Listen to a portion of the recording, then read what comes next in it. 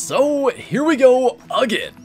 Headed back into the mountains of Sundarpatan, chasing the only diamond we don't have in all of the Hunter Call of the Wild, that of course being the Snow Leopard. And if you take a look at our loadout, you may notice we're trying to appeal to the better graces of Snow Leopards today. Maybe we can have some luck, and maybe we can check that final diamond off the list. And we just may be starting off this hunt with a max estimate Tibetan Fox. This one's the orange variant. Our diamond's a gray, so we might as well track it down and see what we can find. And we have that zone there, so maybe he's not going to be too far away, but I fully expect this to be a long hunt. I mean, hunting snow leopards generally just get a couple of them after several hours. So we're going to go for it, and in the meantime, when we stumble into stuff like this, we'll definitely try to take these opportunities too. And what do you know? Getting charged by what looks to be a really big yak. I'm not going to spot it. I think that's a 9, and we're just to find out. Hopefully, whenever we get a shot, we have no breath right now. That's got to be a 9. He looks huge. Shot felt pretty good there, no vital blood. So we're to need to really get a solid follow-up this time. Try to, like, sidestep him. There we go, that felt a little bit better. That is vital blood. And we're to find out if our kind of yak roulette here ends up working out. He's super wide set, like most of the nines. My only concern, we were pretty close to hitting him in the... Oh, geez, pretty close to getting killed by him, too, uh, on the first shot. So, what do we have? That's actually a mythical. What does he score? 268? Just shy of diamond. Oh, we hit him in the horn the first time. Not too bad. All things considered, when we're trying to figure out where this fox went, a nice little bonus kill. And by the way, it is yak drink time, we're just beginning. So hopefully once we find this fox, that's going to be part of the plan as well, as we're looking for snow leopards, kind of hunting around some of the uh, yak lakes, and see if we can find anything cool for them. Oh man, unfortunately, just a level 7 for our fox. Bit of a lengthy track all in all, but at least we got him spotted. If we can spot him again... Man, I feel like we're just really struggling on breath today. Maybe we gotta take an extra second to calm down before we take these shots anyway. Second shot found his mark, and I've said many times, like, there's too many cool things out here to just completely ignore and only hunt for snow leopards. Whether it's rare yak, I'd love to find one of them. I mean, we got that melanistic Tibetan fox a while back. A bigger one would be fantastic. We're gonna be chasing that kind of stuff too. And so often it is on those hunts for other stuff that we encounter kind of what we're after. I mean, our previous level 9 snow leopard, the troll, we found that right after chasing a gold black fur type tahr. So we just kind of hope that it works out as we're chasing this other stuff. And of course, if we find a track, if we get a call, we'll be right after the snow leopards too. Well, we're moving in the right direction. Got a mythical Tibetan fox out here. I think that's the tawny variant, which would easily be the biggest of that variant we've seen. Now we're gonna get right over here. So make the shot kind of quick, and once again, we get to deal with a yak. And the one good thing is, a little easier to get our shots when we're not just completely out of breath. We actually finally spotted something that wasn't either charging us or running away from us. And at least we're able to drop that guy. And it's a really cool variant. Like, down the road eventually, I'd love to get a diamond of that as well. It's just got a really nice color to it. But this, as it's dying running into us, liver and then flesh shot, not exactly our best work, shot right under the lungs that time.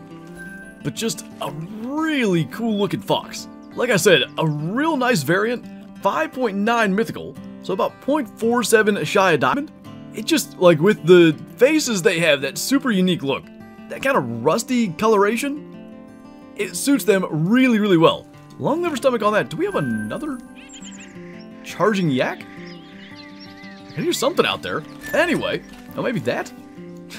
Not quite as big as a yak, but maybe that's what I heard moving through the brush.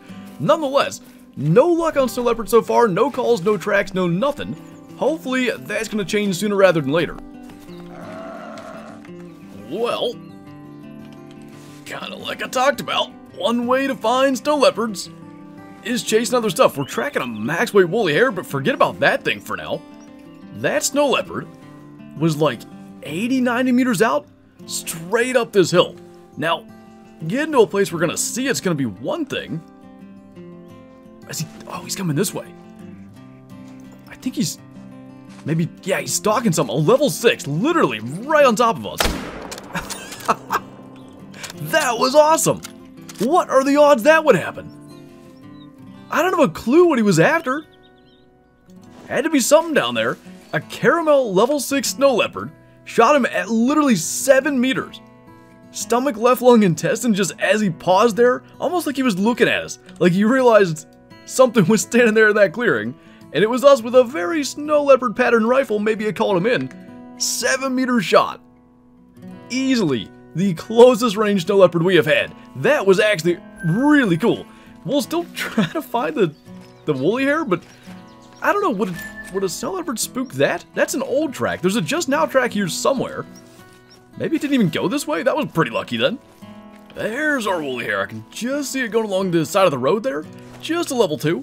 Can't say I'm super surprised at that. But especially, we have a male diamond woolly hare. Because both males and females can make diamond, I'd like at some point to get a female one. Maybe a different fur variant this would actually be the same as our diamond. 2.98 for that though, double lunged it. we'll take that from the 22. And we're just going to keep on scooting along here. I was actually heading up here to look for wild yak. Produced a couple of pretty cool things there. Well, I can tell you just looking at that, that's a female snow leopard up there with another tawny Tibetan fox max weight estimate again, but a 7? And that's a level 4 female. I think that's the biggest one we've seen. Kind of a stark contrast to the last. Just spotted out there in the distance. That's actually really cool though. Now she's attentive. I gotta imagine from us? Don't know what else would cause it. But head up, shot, snow leopard down. And that one, once again, is the caramel variant. And that's the reason, I don't know if there's a difference with the snow variant male to female. There probably is something. But I've said many times, the female ones, they have that almost like the tawny red uh, Tibetan fox that was standing right next to her. They've got that rusty coloration, almost just a reddish undertone to the fur. It's really recognizable, and the other nice thing is, it is 1300. Catching a snow leopard out here in the open feeding is the type of thing that we can have happen this time of day. But I mean, there you go. That kind of reddish coloration on our female caramel, that's a max weight estimate female. Now what are the odds? I don't know that from any kind of data anywhere, but 45 kilo flat and it being level 4, I'm basically certain that's as big a female snow leopard as is possible to get. 24.04 scoring silver. I'm almost tempted to tax it, but I don't know what we'd ever do with it. Pretty cool to get. Maybe we'll just screenshot it. So we have that. Pretty cool with the caramel fur as well. We've had one legendary snow leopard any trolls, one max estimate female snow leopard. I wouldn't have guessed that we could get the female as a max weight before we could find a diamond. There is our third snow leopard. I think that's a caramel female as well. Certainly what it looked like. She's alert. The wind's not bad enough to rush this too much, just in case that would happen to be not what I thought we saw. In any kind of rare, we definitely don't need to just screw up the shot rushing it like that, she's gonna just rest right in there. I still feel like I see that kind of like goldish coloration. There we go. That's a little bit better, stepped out from behind the tree. And our third snow leopard down. Still, I think, all the same fur variation. And no, actually, I don't even think we picked up a snow leopard track yet. It's all been calls and spotting, you know, just out ahead of us. Not our typical snow leopard hunt in any way, shape, or form. Actually, see, this is probably a good reason to have not taken the shot. Not that it was a rare, but it was the snow variant. It is not what we saw. And actually, maybe the snow females have that kind of same thing. More of a, I guess, pinkish coloration as opposed to the reddish color. It'd be interesting to compare side by side, but considering I thought I saw something else, it well could have been leucistic or something. And again, just probably smart to not mess up that shot. I don't imagine we're going to see a lot of rare snow leopards just, you know, ever. So any chance we would get a one, we wouldn't want to ruin it. Just about spooked that one. It's alarmed. Another caramel. And another female, unfortunately, just ran right up on that thing. Standing there in the open just like... I wonder, was it resting? Just happened to be in the exact spot where we were headed. I think that's snow leopard number 4 now. That's a bronze. 21.56 double lung. Wait, what?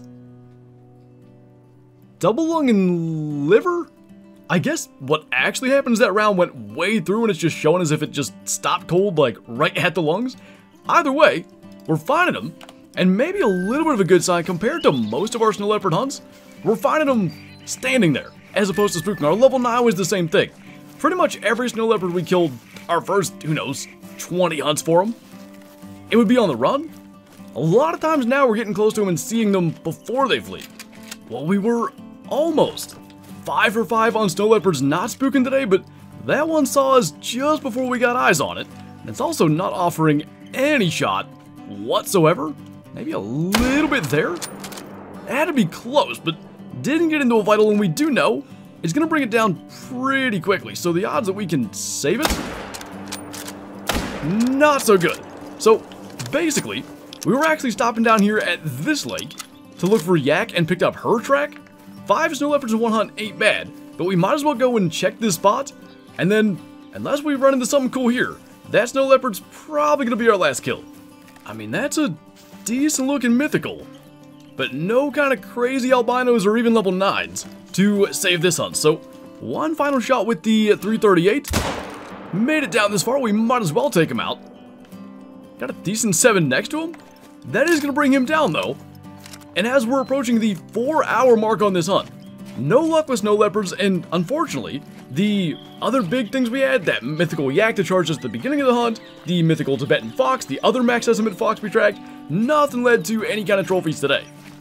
On the other side of that, 5 snow leopards probably is our best total for one hunt, and I think only one of them was male. I want to even say it was that first one that we shot at like 7 meters, and that was maybe the biggest takeaway. We've been routinely getting really close to them. I think we're getting better at hunting them. It's just finding that one that not only is level 9, because we've done that much, it's finding level 9 that is going to be 29 plus and make diamond. But honestly, that initial encounter, that snow leopard running so close made my hunt to begin with, and it was nice to continue to get them as we went along.